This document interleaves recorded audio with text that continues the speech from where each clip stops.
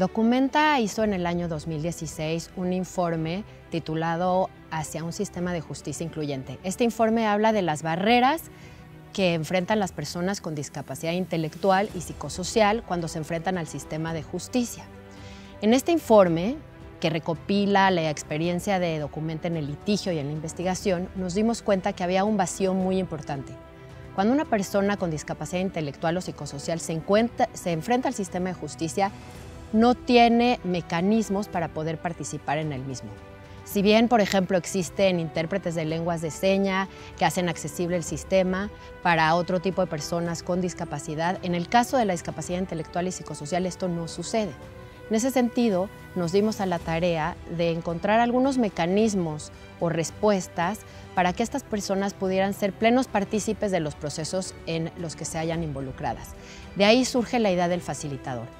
¿Qué es el facilitador? El facilitador es un tercero, un tercero imparcial que brinda apoyo a la persona con discapacidad intelectual y psicosocial para participar en su proceso y también apoya a los operadores de justicia para entender las implicaciones que tiene la discapacidad en el proceso mismo. Es decir, el facilitador trabaja en una doble vía, como apoyo a la persona con discapacidad y como apoyo a los operadores del sistema de justicia. Lo que hace es crear o diseñar ajustes procesales para garantizar la igualdad en el acceso a la justicia de las personas con discapacidad intelectual y psicosocial. El término de ajustes procesales o de ajustes razonables es muy usado, pero es un término que ha estado vacío de contenido y la figura del facilitador busca de de contenido a este término tan amplio. Es decir, por ejemplo, si una persona tiene un problema en comunicación, eh, en darse a entender, un problema para comprender qué es lo que está pasando, el facilitador está ahí para apoyarlo y para hacer posible que esta persona comprenda lo que se está diciendo en el proceso y también para que esta persona exprese su participación en el mismo, es decir, de su declaración o haga las preguntas que le parezcan relevantes. ¿Qué no es el facilitador? Y es muy importante esto. El facilitador no es un perito, es decir, no es una persona que da una opinión especializada sobre la discapacidad. El facilitador lo que hace es garantizar que la persona pueda, pueda declarar si es que quiere hacerlo, puede estar presente en su audiencia, puede entender las implicaciones del proceso penal.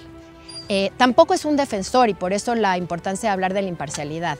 El defensor habla sobre los aspectos jurídicos del caso, el defensor está ahí para defender a la persona. El facilitador no hace eso. El facilitador lo que hace es ayudar en la búsqueda de la justicia, pero de una manera imparcial. Si yo recibo información que no me es accesible, pues difícilmente voy a poder responder a la información que me están dando, pero cuando me están dando una información que me resulta accesible, conocida y que se ponen palabras llanas y comunes, pues bueno, entonces mi respuesta también va a ser otra. En este caso, pues bueno, creo que es un ejemplo y la figura del facilitador, pues lo que hace es eso, o sea, es justamente hacer esta información accesible. Algunas veces, por ejemplo, las personas cuando son víctimas o testigos, se desestima su testimonio justo por esta idea de que se cree que no tienen la capacidad, pues bueno, para decir qué fue lo que pasó. Cuando te demuestran que con un trato digno, que con palabras accesibles, las personas responden, entonces, bueno, eso cambia la situación de la persona ante el sistema de justicia incluso. ¿no? Este programa de facilitadores que lanzó Documenta es un programa inédito en nuestro país, si bien sí se alimenta de otras buenas prácticas que ha existido en otros países como Israel, como Estados Unidos, como Inglaterra. Estamos seguros que la figura del facilitador llenará un vacío que existe actualmente en el sistema de justicia penal y a través de él se podrá garantizar la igualdad en el acceso a la justicia de las personas con discapacidad intelectual y psicosocial.